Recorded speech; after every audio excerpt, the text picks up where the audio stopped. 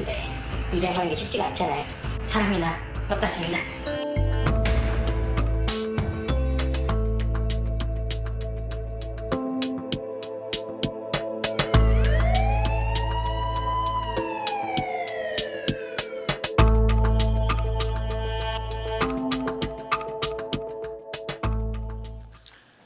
대한민국에서 반려동물 키우는 사람이 1,500만 명에 육박한다고 합니다. 가족과 다름없는 존재인 반려동물인데 버려지는 아이들도 많죠. 어, 그래서 새끼를 분양받기보다는 유기견을 입양하려는 분들도 많아졌습니다. 그런데 이런 선한 마음을 악용하는 나쁜 사람들이 있다고 합니다. 고현선 동물권 행동 카라 활동가 모시고 자세한 얘기 나눠보겠습니다. 고 활동가님 어서 오십시오. 안녕하세요. 네, 앞서 영상에서 봤습니다만 유기견 보호소라고 검색해서 찾아 들어가 봤더니 사실상 펫숍 그러니까 강아지 가게인 경우가 많더군요. 이런 신종 펫숍 수법이 어떻게 이루어지고 있는 겁니까? 어, 앵커님 사지 말고 입양하세요라는 예. 얘기 들어본 적 예. 있으시죠? 많은 시민분들이 이제는 동물을 사는 것이 동물 패션업에서 어, 동물 학대에 일조하는 것이라는 인식이 많이 생겼어요. 네. 그래서 동물을 사지 않고 입양하려고 하는 시민분이 많이 늘어나고 있는데요. 이런 시민들을 가짜 보호소를 만들어서 끌어들이고 그 보호소에서 어, 시민분들은 입양을 한다고 생각하지만 네. 사실은 어, 강아지 공장에서 태어난 개들을 사게끔 만드는 어, 신종 수- 사기라고 볼 수 있습니다. 시벼 시- 저 입양을 하고 싶어서 실제로 와 보면 입양 파양된 개들이 있는데 거기서 또 새로운 강아지들로 이렇게 권하는 수법이 있다고요? 네, 맞습니다. 어떤 식으로 그렇게 손님들을 유혹합니까? 어, 이제 강아지 를 이제 입양하고 싶다. 네. 그래서 뭐 그러면 파양된 개들을 우리가 데리고 있는데 이런 네. 개들을 보겠냐. 근데 이런 개들은 크기도 크고 나이도 많고 음. 뭐 질병 이런 질병이 있다 이런 식으로 뭐 키우기 어렵다 이런 음. 식으로 소, 이제 얘기를 하면서 어, 다른 공간에 작고 예쁜 품종 강아지들이 있는데 이 강아지들도 한번 보지 않겠냐. 이 네. 강아지들이 훨씬 키우기도 쉽고 뭐 건강 문제도 없. 다 뭐 이런 식으로 얘기하면서 음. 어 이제 펫숍 강아지들을 사도록 유도합니다. 아, 일단 입양을 하려 개를 입양하려고 오신 분들은 개를 키우는 의지나 여건들이 되시는 분들이기 때문에 네. 그분들한테 자연스럽게 이 자기네들이 강아지를 파는 그런 수법이군요. 네 맞습니다. 이 이런 변종 신종 펫숍이 그럼 언제부터 생긴 건가요? 어 신종 펫샵이 처음 생긴 것은 한 7, 8년 전인 것으로 보입니다. 그렇게나 됐습니까? 네, 예. 하지만 3, 4년 전부터 약간 기하급수적으로 늘어나기 시작했는데요. 대표적인 업체들은 전국에 어, 분점을 가지고 있을 정도로 어. 어, 대규모가 되었고 어, 이렇게 성업을 하다 보니 크고 작은 유사 업체들이 굉장히 많이 생기고 있습니다. 네. 자, 좋은 마음으로 유기견을 입양하려고 갔던 분들에게 정말 황당한 일이 아닐 수 없죠. 신종 펫숍 피해자의 말을 듣고 오겠습니다.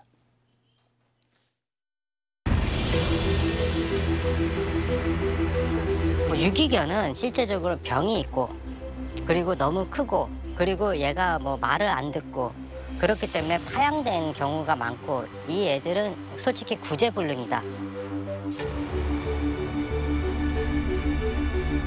네이버 측에서는 그 내용을 앞뒤 확인을 하지 않고 무조건 신고가 들어오면 일단은 내리기 때문에 맹점을 확인 뭐 이용하고 있다고 보는 거죠. 자, 피해자 입장에서는 이런 문제점을 알리기 위해서 댓글을 올리는 건데 네이버 쪽에서는 펫숍 쪽에서 항의만 하면 바로 그냥 내려준다는 얘기인가요? 네, 네이버에서 아마 악성 댓글에 대한 피해를 막기 위해서 만든 제도를 업체들이 악용하는 것으로 보입니다. 어, 업체들은 네이버에 항의를 해서 이런 글들을 내리는 것뿐만 아니라 어, 이런 그 피해자들에게 어, 협박 전화를 하거나 법적으로 소송하겠다 이런 협박을 해서 어, 이 글들을 내리게 해서 그 인터넷 후기나 이런 그 진실들을 감추고 있습니다. 네. 자, 신종 펫숍이 이 돈을 버는 방법이 강아지를 판매하는 것에만 있지 않다면서요. 심지어 이 파양하려는 강아지를 맡아준다는 조건으로 보호비를 또 꽤 많이 받는다고 들었습니다. 네, 파양을 원하는 보호자에게 돈을 받고 파, 어, 파양한 동물에게 새로운 좋은 가족을 찾아주겠다 네. 이렇게 하지만 뭐그 파양자들이 동물의 현재 상태나 뭐 입양 정보나 이런 것들을 전혀 알 수 없는 경우가 많고요. 네. 심지어 어, 그런 정보를 알고 싶다면 돈을 더 내라 이런 업체까지 어, 있는 것으로 알고 있습니다. 그럼 제가 기르던 강아지를 도저히 여건이 안 돼서 그런 유기견 보호소에다 맡긴단 말이에요. 파양을 한다고 그러면서 돈을 얼마나 달라고 그러나요? 어, 그건 업체마다 굉장히 다른데 초기만 해도 100만 원 미만, 7, 네. 8년 전만 해도 100만 원 미만으로 저희한테 제보가 들어오는 건들이 있었어요. 네. 근데 지금 보- 지금 제보가 들어오는 건들을 보면 뭐 한 150만 원은 기본적으로 넘고 200만 원, 300만 원을 낸 피해자들도 많이 있습니다. 네, 어쩔 수 없이 개를 키우지 못하게 돼서 주변에 뭐 달리 맡아줄 사람이 없고 그렇다면 파양을 해야 되는데 이제 가족처럼 아끼던 강아지니까 좀 잘해주기를 바라는 마음에서 그리고 죄책감에서 돈을 주는 거잖아요. 네, 맞습니다. 자, 그런데 그 돈을 받고 그럼 걔네들을 제대로 돌보긴 합니까? 어, 제대로 돌보면 그나마 그래도 좋을 텐데 그렇지 않은 걸로 보여집니다. 어, 파양한 동물을 맡아주면서 그 돈을 받고 다시 입양을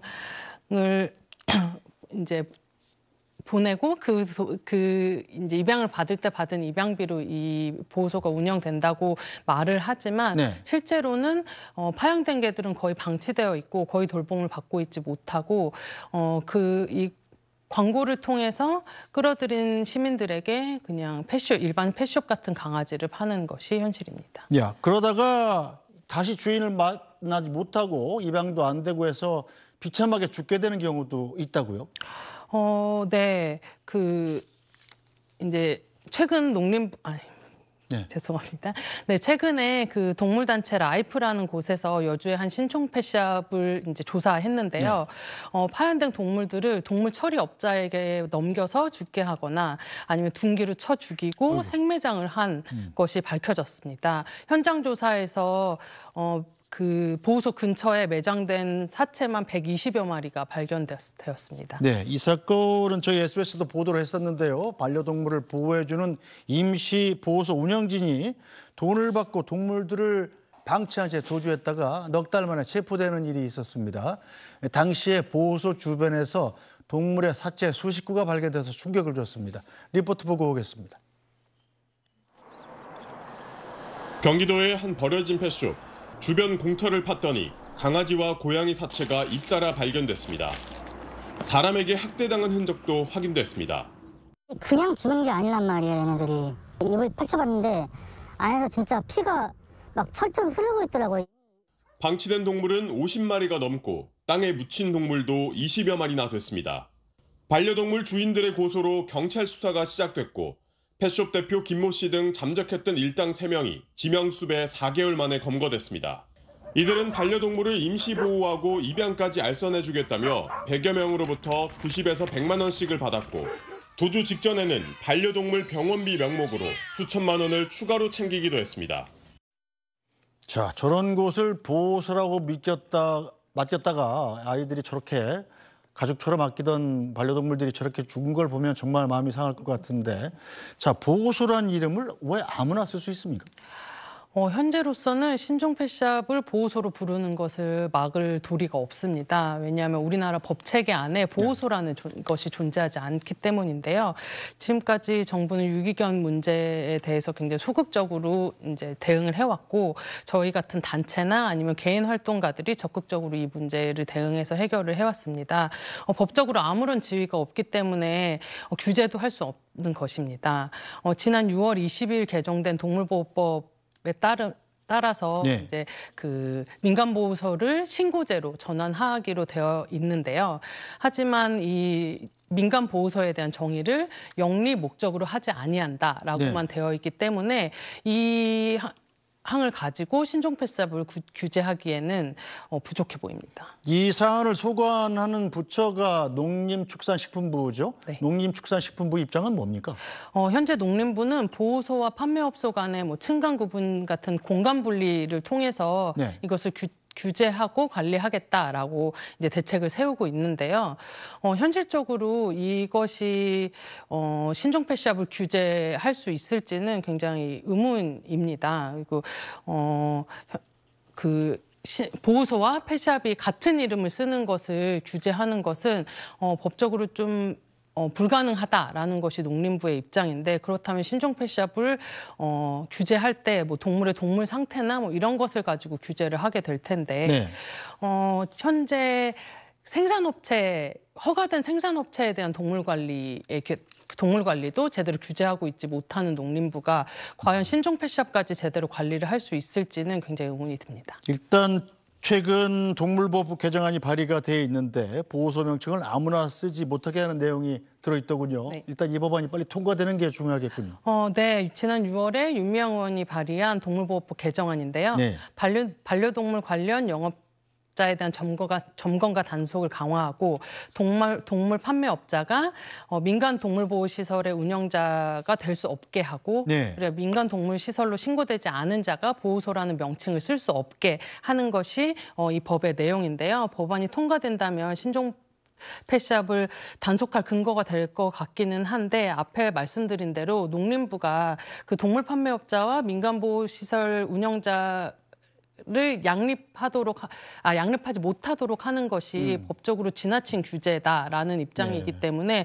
이 법안이 통과돼서 제대로 실효성을 가질 수 있을지 지켜봐야 됩니다. 네, 인터넷 포털에 유기견 보호소를 치면은 펫숍으로 연결이 되는 구조도 좀 문제가 있는 것 같던데 고칠 네. 방법은 없습니까?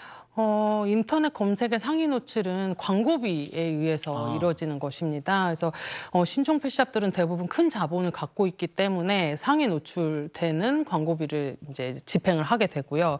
어, 유기견을 검색했을 때 이제 상위 노출되는 것에 대한 문제 제기를 포- 각종 포털들에게 하- 받지만 사실 보호소라는 명칭을 지금 쓰는 것에 대한 법적인 문제가 없기 때문에 그 포털 입장에서도 이것을 어, 규제하기가 쉽지 않은 것으로 보입니다. 그래서 보호소에 대한 명확한 정의가 생기고 어, 그, 이런 그 신종 펫샵에 대한 규제가 가능해지면 이 포털에 대한 문제 역시 해결될 수 있을 거라고 생각합니다. 실제로 유기견을 입양하시려는 분들이 신종 펫샵이라는 곳에 속지 않으려면 그럼 어떻게 구별을 해야 되나요?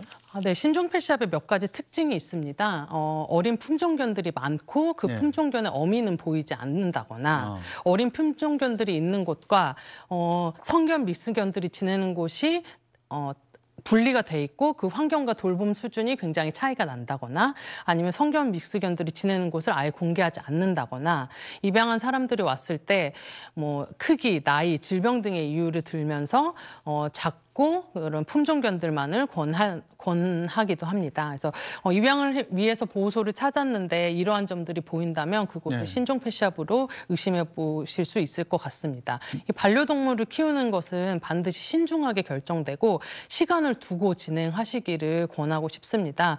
어, 그리고 반려동물을 키우신다면 반려동물을 가족으로서 대해주시고 평생을 함께 하, 해- 하셔서 이런 신종 펫샵에 가는 일을 막으실 수, 막을 수 있었으면 좋겠습니다. 네, 실제로 잘 운영되고 안전한 유기견 보호소는 없습니까?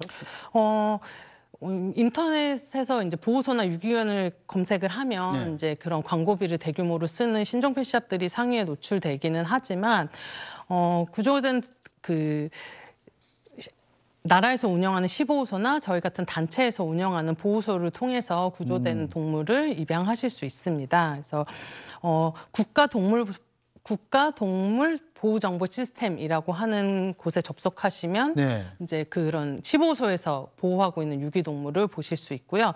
그 핸드폰 앱에선 포인핸드라는 어플리케이션이 있어요. 그 네. 앱을, 통해서도 시보소 정보를 얻을 수 있습니다. 그리고 각 동물 단체들의 홈페이지에 들어가시면 그 단체에서 어, 이- 구조한 동물 중에 현재 입양이 가능한 동물들의 정보를 보실 수 있습니다. 네, 저 유기견들 문제뿐만 아니라 이 새로 태어나는 강아지들을 이른바 생산해서 파는 그 구조도 좀 문제로 지적되더군요. 어, 네, 지금 어, 뭐 신종 펫샵도 그렇고 일반 펫샵도 그렇고 강아지 공장에서 개들이 태어나고 경매장을 통해서 쇼부로 가게 됩니다.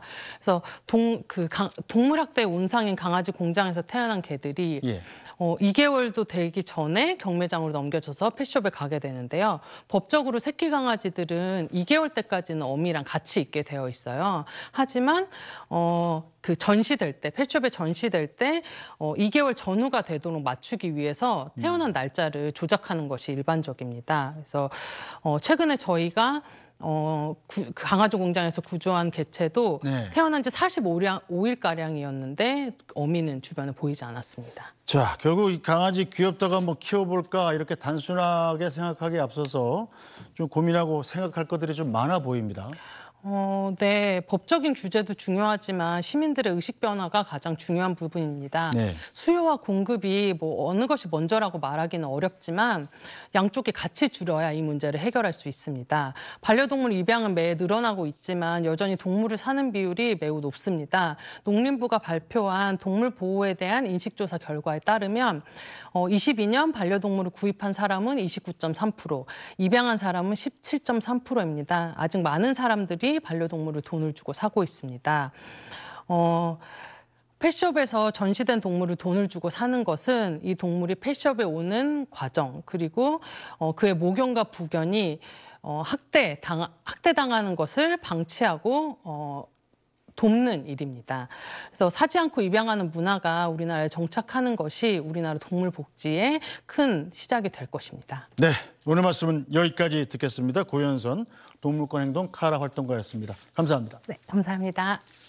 네, 뉴스 브리핑은 오늘 여기서 마치겠습니다. 저희는 내일도 최선을 다하겠습니다. 고맙습니다.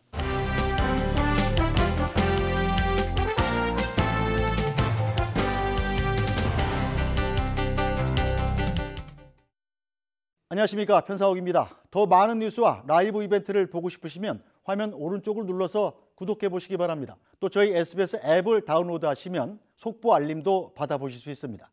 항상 저희 SBS 뉴스를 시청해 주셔서 대단히 고맙습니다.